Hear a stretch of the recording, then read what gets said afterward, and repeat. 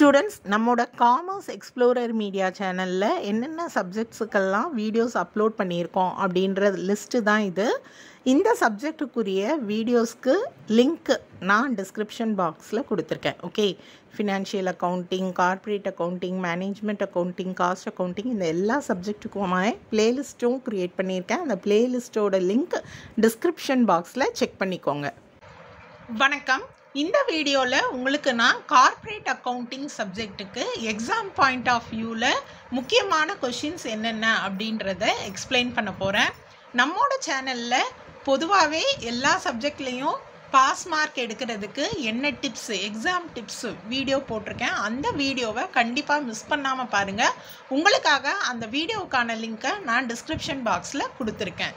Okay so நம்மோட சேனலில் ஏற்கனவே கார்ப்பரேட் அக்கௌண்டிங் எக்ஸாம் டிப்ஸ்னு ஒரு வீடியோ இருக்குது அது வந்து போன வருஷம் போட்ட வீடியோ அந்த வீடியோவில் ப்ரீவியஸ் இயரோட சிலபஸ் இருக்கும். ஓகே ஸோ அதனால் உங்களுக்கு மறுபடி இந்த வருஷம் புதுசாகவே ஒரு வீடியோ போடுறேன். இந்த வருஷத்து சிலபஸில் என்னென்ன போர்ஷன்ஸ் இருக்கோ அதில் என்னென்ன இம்பார்ட்டன்ட் கொஷின்ஸ் அப்படின்றத நீங்கள் தெரிஞ்சுக்கோங்க. ஓகே கார்ப்பரேட் அக்கௌண்டிங் சப்ஜெக்டை பொறுத்த வரைக்கும் பார்த்தீங்கன்னா ஒரு கிளாஸில் எழுபது ஸ்டூடெண்ட்ஸ் இருக்காங்கன்னா மினிமம் பதினஞ்சு பேர் இருபது பேர் ஃபெயில் ஆகிடுறாங்க அந்த அளவுக்கு ப ஸ்டூடெண்ட்ஸ் வந்து பார்த்திங்கன்னா இந்த கார்ப்பரேட் அக்கௌண்டிங் சப்ஜெக்டை கொஞ்சம் டிஃபிகல்ட்டாக ஃபீல் பண்ணுறாங்க ஓகே அதனால் மட்டுமே நான் இந்த டிப்ஸ் வீடியோ போடுறேன். என்ன அப்படின்னு பார்த்தீங்கன்னா நீங்கள் ஃபஸ்ட் டைமே கார்ப்பரேட் அக்கௌண்டிங் சப்ஜெக்டில் பாஸ் பண்ணிட்டீங்க அப்படின்னா உங்களுக்கு வந்து ஃப்யூச்சரில் எக்ஸ்ட்ரா ஒரு சப்ஜெக்ட் அப்படின்ற அந்த பேர்டன் குறைஞ்சிரும் பாரம் குறைஞ்சிரும். அந்த ஒரு ரீசனுக்காக வீடியோ கொடுத்துருக்கேன். இன்னொரு ரீசன் என்ன அப்படின்னு பார்த்தீங்கன்னா இந்த சப்ஜெக்டை நீங்கள் ஒரு வேளை அரியர்ஸ் வச்சுட்டிங்கன்னா அடுத்த ஆறு மாதம் கழித்து நீங்கள் எக்ஸாம் எழுத போகும்போது அந்த ஆறு மாதமும் உங்களுக்கு அந்த சப்ஜெக்டை யாரும் நடத்தியிருக்க மாட்டாங்க. உங்களுக்கு அதுக்கப்புறமும் சொல்லி கொடுக்குறதுக்கோ ஃப்ரெண்ட்ஸோட டிஸ்கஸ் பண்ணுறதுக்கோ வாய்ப்பு இருக்காது.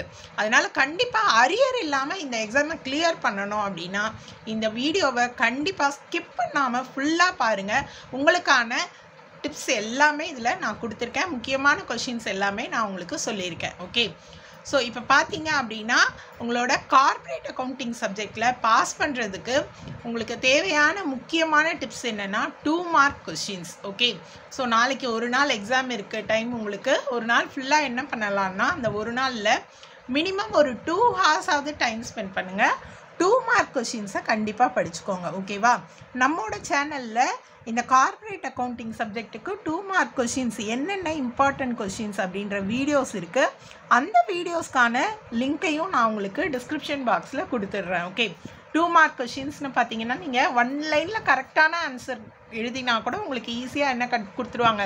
டூ மார்க்ஸ் கொடுத்துருவாங்க. அதனால தான் அந்த கொஷின் ஆன்சர்ஸை கான்சென்ட்ரேட் பண்ணுங்க அப்படின்னு சொல்லுவேன் இன்னொன்று பார்த்தீங்கன்னா அக்கௌண்ட்ஸ் சப்ஜெக்டில் இந்த ஒவ்வொரு யூனிட்லேயுமே பத்து இம்பார்ட்டன்ட் டூ மார்க் கொஷின் தான் இருக்கும். தியரி சப்ஜெக்ட் அப்படின்னா உங்களுக்கு வந்து ஒவ்வொரு யூனிட்லேயும் நிறைய இம்பார்ட்டன்ட் கொஷின்ஸ் இருக்கும்.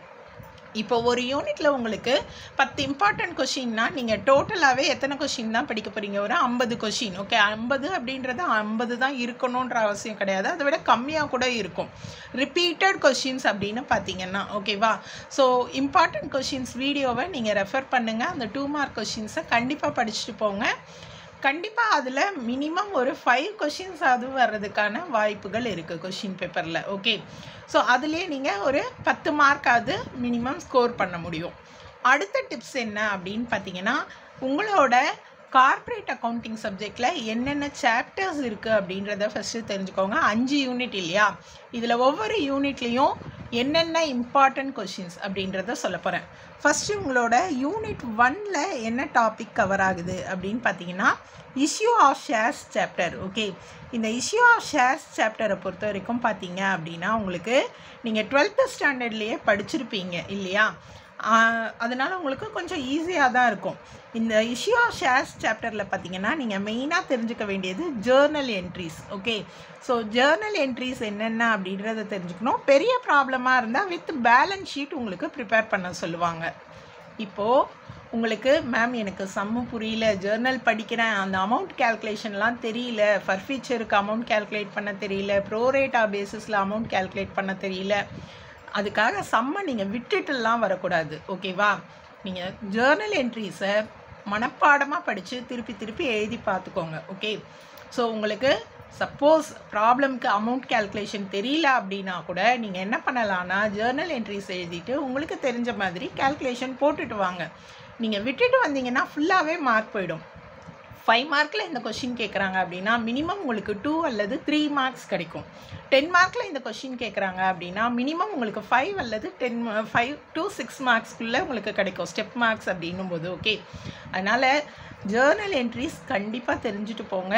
நல்லா எழுதி பாருங்கள் நாளைக்கு ஓகே ஒரு ரெண்டு மணி நேரம் நீங்கள் டூ மார்க் கொஷின்ஸ் படிச்சிட்டீங்க இல்லை ஒரு மூணு மணி நேரமே ஆனால் கூட இந்த ஜேர்னல் என்ட்ரி படிக்கிறதுக்கு ஒரு ஆஃப் அன் ஹவர் டைம் கூட எடுத்துக்கோங்களேன். கண்டிப்பாக இஷ்யூ ஆஃப் ஷேர்ஸ் சாப்டரில் உங்களுக்கு ஒரு ஃபைவ் மார்க் கொஷின்ஸ் கேட்பாங்க. அண்ட் கண்டிப்பாக ஒரு டென் மார்க் கொஷின் கேட்பாங்க. இப்போ நான் உங்களுக்கு ப்ரீவியஸ் இயர் கொஷின் பேப்பர் காட்டுறேன். நீங்கள் அதுலேயே தெரிஞ்சுக்கலாம்.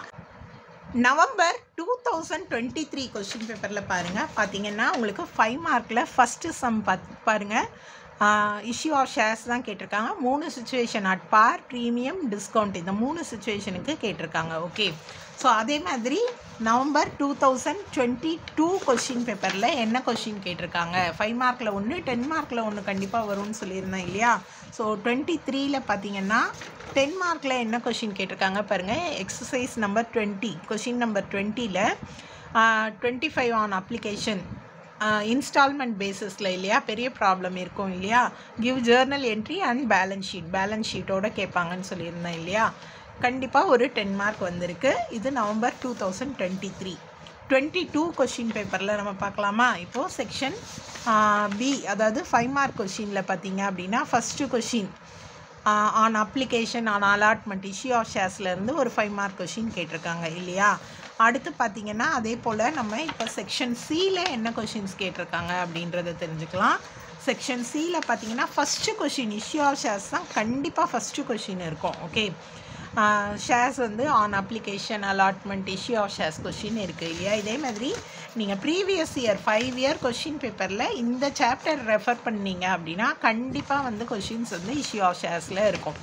இது பார்த்தீங்கன்னா உங்களுக்கு நவம்பர் டூ தௌசண்ட் டுவெண்ட்டி ஒன்னோட கொஷின் பேப்பர் ஓகேவா ஸோ டுவெண்ட்டி ஒன் கொஷின் பேப்பர்லேயும் பாருங்கள் டென் மார்க்கில் இஷ்யூ ஆஃப் ஷேர்ஸ் கொஷின் கேட்டிருக்காங்க.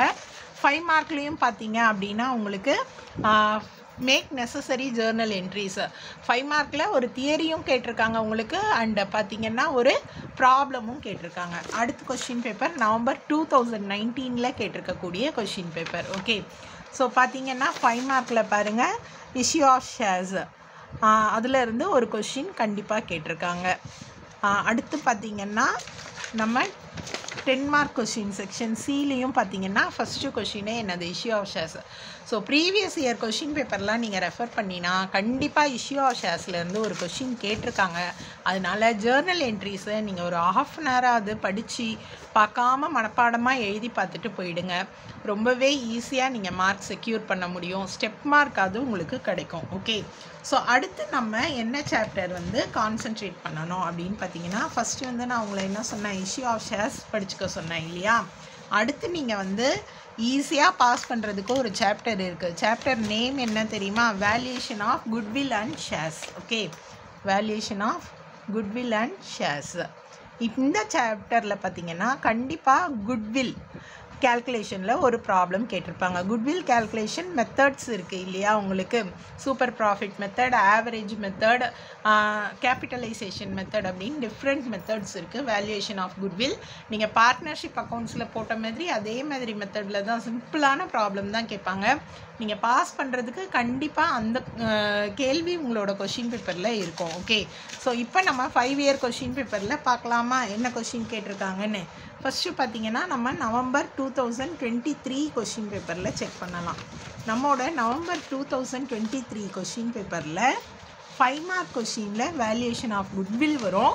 டென் மார்க்கில் வந்து பார்த்திங்கன்னா வேல்யூஷன் ஆஃப் ஷேர்ஸ் கண்டிப்பாக கேட்டிருப்பாங்க. இப்போ வேல்யூஷன் ஆஃப் குட்வில்க்கு என்ன கொஷின் கேட்டிருக்காங்க அப்படின்றத நான் உங்களுக்கு சொல்கிறேன் பார்த்தீங்க அப்படின்னா செவன்டீன்த் கொஷின் பாருங்கள் find out the value of goodwill by capitalisation method மூணு மெத்தடுமே ரொம்ப ஈஸியான மெத்தட் தான். ஆவரேஜ் ப்ராஃபிட் மெத்தடாக இருந்தாலும் சரி சூப்பர் ப்ராஃபிட் மெத்தடாக இருந்தாலும் சரி கேபிட்டலைசேஷன் மெத்தடாக இருந்தாலும் சரி. ரொம்பவே ஈஸியான மெத்தட் தான். ஸோ கண்டிப்பாக இதை படிச்சுக்கோங்க. சம்டைம்ஸ் பார்த்தீங்கன்னா தியரிட்டிக்கலாகவே அந்த methods of valuation of goodwill so அதோட ஃபார்முலாலாம் தெரிஞ்சது அப்படின்னா நீங்கள் இந்த கொஷினும் வந்து கேட்டாலுமே அட்டன் பண்ண முடியும். ஃபைவ் மார்க்கில் ஓகே அடுத்து பார்த்தீங்கன்னா வேல்யூஷன் ஆஃப் ஷேர்ஸில் என்ன பண்ணுவாங்க? உங்களுக்கு ஒரு டென் மார்க் கொஷின் கேட்டிருப்பாங்க. இது நவம்பர் டுவெண்ட்டி த்ரீயோட கொஷின் பேப்பர் இல்லையா? ஸோ இதில் பாருங்கள் என்ன கொஷின் கேட்டிருக்காங்க அப்படின்னு நம்ம தெரிஞ்சுக்கலாம். Question number twenty three twenty த்ரீயில் பார்த்தீங்கன்னா ஈல்டு மெத்தட் நெட் அசட் மெத்தடில் வேல்யூஷன் ஆஃப் ஷேர்ஸ் கேட்டிருக்காங்க ஓகே ஸோ யூனிட் டூவில் வேல்யூஷன் ஆஃப் குட்வில் ஃபைவ் மார்க்ஸில் நீங்கள் எதிர்பார்க்கலாம்.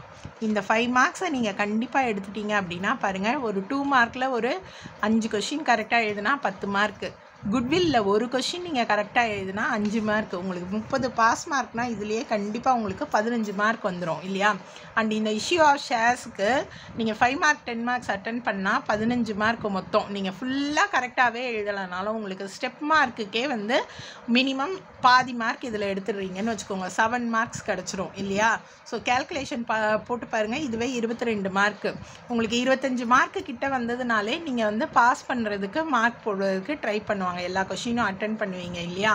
ஸோ அப்போ பார்த்தீங்கன்னா கார்ப்பரேட் அக்கௌண்டிங் சப்ஜெக்டில் ஈஸியாகவே பாஸ் பண்ணிடலாம். நீங்கள் இந்த ரெண்டு சாப்டரை ரொம்ப நல்லாவே கான்சென்ட்ரேட் பண்ணி படிங்க. ஈஸியாக என்ன பண்ண முடியும்?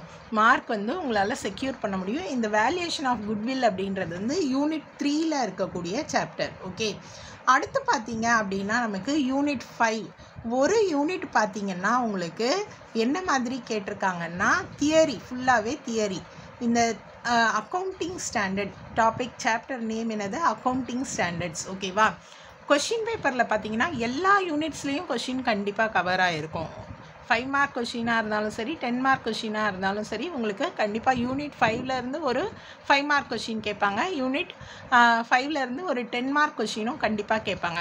இந்த அக்கௌண்டிங் ஸ்டாண்டர்டில் என்னென்னலாம் இம்பார்ட்டண்ட் கொஷின்ஸ் இருக்குது அப்படின்றத நான் உங்களுக்கு டிஸ்கிரிப்ஷன் பாக்ஸில் கொடுக்குறேன். அந்த கொஷின்ஸை படிச்சுட்டு போங்க. கண்டிப்பாக கொஷின்ஸ் அட்டன் பண்ண முடியும் உங்களுக்கு. ஓகே ஸோ ஈக்குவலாக இருக்கும் எல்லாத்துலேயுமே கொஷின் அப்போ இந்த தியரி பார்ட்டில் நீங்கள் கான்சென்ட்ரேட் பண்ணீங்கன்னா உங்களுக்கு அட்டன் பண்ணின மார்க்கே கிடச்சதுன்னா கூட நான் ஏற்கனவே சொன்ன மாதிரி மினிமம் சிக்ஸ் மார்க்ஸே வச்சுக்கோங்க. ஃபைவ் மார்க்கில் ஒன்று டென் மார்க்கில் நீங்கள் எழுதி அதுக்கு ஒரு ஆறு மார்க் கிடச்சா கூட நீங்கள் ஃபெயில் ஆகிறதுக்கு வாய்ப்பே கிடையாது. யூனிட் த்ரீயில் ஓகே ஸோ அதுலேயுமே எது இம்பார்ட்டன்ட் கொஷின்ஸ்னு கொடுக்குறேன். படிச்சுக்கோங்க. அடுத்து செகண்ட் யூனிட்டில் நமக்கு என்ன கொடுத்துருக்காங்க அப்படின்னு பார்த்தீங்கன்னா செகண்ட் யூனிட்டை பொறுத்த வரைக்கும் உங்களுக்கு issue of preference shares and redemption of preference shares issue of debentures redemption of debentures எல்லாம் இருக்குது ஓகேவா ஸோ இதில் பார்த்தீங்கன்னா அடிக்கடி கேட்குற கொஷின்னு பார்த்தீங்கன்னா redemption of preference shares okay previous year question பேப்பரில் பார்த்தீங்கன்னா ரிடம்ஷன் ஆஃப் ப்ரிஃபரன்ஸ் ஷேர்ஸ் இருக்கும். இந்த ரிடம்ஷன் ஆஃப் ப்ரிஃபரன்ஸ் ஷேர்ஸும் பார்த்தீங்கன்னா உங்களுக்கு ஜேர்னல் என்ட்ரிஸ் தான். ஃபுல்லாக பேஸ் பண்ணது ஜேர்னல் என்ட்ரி டென் மார்க்கில் கேட்டாங்கன்னா உங்களுக்கு வித் பேலன்ஸ் ஷீட் கேட்பாங்க. ஸோ நான் ஏற்கனவே சொன்ன மாதிரி தான் ஃபஸ்ட்டு சாப்டர் மாதிரி ரிடம்ஷன் ஆஃப் ப்ரிஃபரன்ஸ் ஷேர்ஸ் சாப்டர்லேயுமே நீங்கள் என்ன பண்ணலாம்? இந்த ஜேர்னல் என்ட்ரி படிச்சுக்கலாம். யூனிட் டூலையும் எல்லாமே ஆல்மோஸ்ட் உங்களுக்கு ஜேர்னல் என்ட்ரியாக இருக்கும். அதனால நீங்கள் அந்த ஜேர்னல் என்ட்ரிஸை மறக்காமல் படிச்சுட்டு போங்க ஓகே அடுத்து யூனிட் ஃபோர் பார்த்தீங்கன்னா உங்களுக்கு ஃபைனல் அக்கௌண்ட்ஸ் ஓகே ரொம்பவே ஈஸி நம்ம வந்து டிஃபிகல்ட் டிஃபிகல்ட்னு நினைப்போம். ஆனால் பார்த்தீங்கன்னா அதாவது பாஸ் பண்ணுறதுக்கு ஈஸியான சாப்டர்ஸ் தான் எல்லாமே. உங்களுக்கு வந்து ஃபுல்லாக ப்ராப்ளம் போட தெரிலன்னா கூட இதில் நீங்கள் ஃபார்முலா படிச்சிடலாம். குட்வில் தியரியை பொறுத்த வரைக்கும் இம்பார்ட்டன்ட் கொஷின்ஸ்னால் ஃபைவ் ஃபிஃப்த் யூனிட்டில் ஒரு நாலஞ்சு கொஷின்ஸ் தான் இருக்க போகுது இல்லையா? அதுமாரி நம்ம வந்து டிஃபிகல்ட்டாக ஃபீல் பண்ணினா தான் டிஃபிகல்ட்டு ஓகே இல்லாட்டி டிஃபிகல்ட்டியே கிடையாது. ஈஸி தான் நமக்கு. இப்போ இந்த ஃபைனல் அக்கௌண்ட்ஸை பொறுத்த வரைக்கும் பார்த்தீங்கன்னா நான் எக்ஸாம் டிப்ஸ்னு ஒரு வீடியோ போட்டிருக்கேன் இல்லையா? அதில் நீங்கள் செக் பண்ணுங்கள் ஃபார்மேட் ஃபார்முலா தப்பாமல் எழு தப்பில்லாமல் எழுதுனீங்கனாலே உங்களுக்கு பாதி மார்க் கிடைக்கும் ஸ்டெப் மார்க் கிடைக்கும் அப்படின்னு சொல்லியிருக்கேன் இல்லையா? ஸோ இந்த ஃபைனல் அக்கௌண்ட்ஸை பொறுத்த வரைக்கும் நீங்கள் எப்படி ப்ரிப்பேர் பண்ணணும்? பிஎன்எல் அக்கௌண்ட் எப்படி ப்ரிப்பேர் பண்ணணும்? பேலன்ஸ் ஷீட் எப்படி ப்ரிப்பேர் பண்ணணும்னு ஃபார்மேட் இருக்குது அந்த ஃபார்மேட்டை நீங்கள் தரோவாக படித்தாலே ஈஸியாக மார்க் வாங்க முடியும். ஒரு முறை உங்களுக்கு அந்த ப்ரீவியஸ் இயர் கொஷின் பேப்பரில் பார்த்தீங்க அப்படின்னா உங்களுக்கு ஃபார்மேட்டே கேட்டிருந்தாங்க. பிஎன்எல் அக்கௌண்ட்டுக்கு ஃபார்மேட் கொடுங்க அப்படின்னு கேட்டிருந்தாங்க. ஸோ ஃபைவ் மார்க்கில் கண்டிப்பாக உங்களுக்கு பிஎன்எல் அக்கௌண்ட் கேட்குறதுக்கு வாய்ப்பு இருக்குது பேலன்ஸ் ஷீட்டோட கேட்குறது வந்து டென் மார்க்கில் கேட்பாங்க.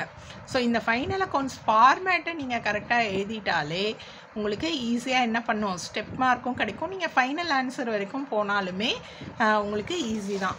ஸோ ஃபைனல் அக்கௌண்ட்ஸோட ஃபார்மேட் உங்களுக்கு தெரியும் இல்லையா? ஃபைனல் அக்கௌண்ட்ஸ் எப்படி போடணும்னு உங்களுக்கு வித் ஆன்சரோடையே எல்லா எக்ஸசைஸ்க்கும் புக்கில் கொடுத்துருக்காங்க. நீங்கள் பார்த்தீங்க அப்படின்னா மெயின் ஷெட்யூல் ப்ரிப்பேர் பண்ணணும். மெயின் ஷெட்யூல் அப்படின்றது பார்த்தீங்கன்னா இதுதான் உங்களுக்கு மெயின் ஷெட்யூல் இந்த நோட் நம்பர் அப்படின்றது நம்மளோட ஒர்க்கிங் நோட்ஸ் பேலன்ஸ் ஷீட்டுக்குமே பார்த்தீங்க அப்படின்னா இதுதான் main schedule okay so main headings என்னென்ன? ஹெட்டிங் வைஸ் படிச்சுக்கோங்க. அடுத்து அந்த நோட் டு அக்கௌண்ட்ஸ் ப்ரிப்பேர் பண்ணணும். இந்த ஃபார்மேட்டை மிஸ்கே மிஸ்டேக்கே இல்லாமல் நீங்கள் எழுதிட்டீங்க அப்படின்னா இந்த நோட்ஸ் டு அக்கௌண்ட்ஸில் ஒர்க்கிங் நோட்ஸில் நீங்கள் ஒன் ஆர் டூ ஐட்டம்ஸ் மாற்றி எழுதலாம் மிஸ் பண்ணியிருக்கலாம் கேல்குலேஷன் மிஸ்டேக் வரலாம். பட் உங்களுக்கு ஸ்டெப் மார்க் கிடச்சிரும் okay so previous year question பேப்பர்லாம் பார்த்தீங்க அப்படின்னா உங்களுக்கு ஃபைனல் அக்கௌண்ட்ஸும் கண்டிப்பாக கொஷின்ஸ் கேட்டிருக்காங்க. நான் எதனால் எல்லா சாப்டர்ஸையும் கொஷின் பேப்பரில் காட்டலை அப்படின்னு பார்த்தீங்கன்னா உங்களுக்கு வீடியோ லென்த்தாக போச்சுன்னா எக்ஸாம் ப்ரிப்பரேஷனுக்கு டைம் ஆகும் இல்லையா? அண்ட் ப்ரீவியஸ் இயர் கொஷின் பேப்பரில் ஒமிட்டான சிலபஸ் எல்லாம் இருக்குது so previous year question paper refer பண்ணுறவங்க பார்த்தீங்க அப்படின்னா அந்த சிலபஸில் இருக்கிற ப்ராப்ளம் ரெஃபர் பண்ணாதீங்க. என்னோட ப்ரீவியஸ் வீடியோவில் பார்த்தீங்க அப்படின்னா போன வருஷத்து வீடியோவில் ப்ராஃபிட் ப்ரியர் டு இன்கார்பரேஷன் ஒரு சாப்டர் இருக்கும். இந்த வருஷம் உங்களுக்கு அந்த சாப்டர் கிடையாது. லைஃப் இன்சூரன்ஸ் கம்பெனி அப்படின்னு ஒரு சாப்டர் இருக்கும். அதுவும் கிடையாது. ஓகேவா ஸோ ப்ரீவியஸ் இயர் வீடியோ பார்த்தீங்க அப்படின்னா இந்த சாப்டர்ஸ் எல்லாம் நீங்கள் ஒமிட் பண்ணிடணும். உங்களுக்கு இந்த வருஷத்தோட சிலபஸ் என்ன அப்படின்றத பார்த்துக்கோங்க அதே மாதிரி பார்த்தீங்கன்னா இது பிகாம் ஜென்ரலில் இருக்கிற சிலபஸை வச்சு பேஸ் பண்ணி நான் உங்களுக்கு வீடியோ போட்டிருக்கேன். சப்போஸ் பிகாம் சிஎஸில் என்ன சிலபஸோ நீங்கள் அதை ஃபாலோ பண்ணிக்கோங்க. அதில் என்ன இம்பார்ட்டன்ட் கொஷின்ஸ் அப்படின்னு தெரிஞ்சுக்கோங்க. கண்டிப்பாக நீங்கள் எக்ஸாம் நல்லா எழுதுவீங்க அப்படின்னு நம்புகிறேன் ஆல் த பெஸ்ட் அரியர் இல்லாமல் நல்ல மார்க் வாங்கி பாஸ் பண்ணுங்கள் கமெண்ட் பாக்ஸில் எனக்கு நீங்கள் பாஸ் பண்ணினதை மெசேஜ் பண்ணுங்கள் நன்றி.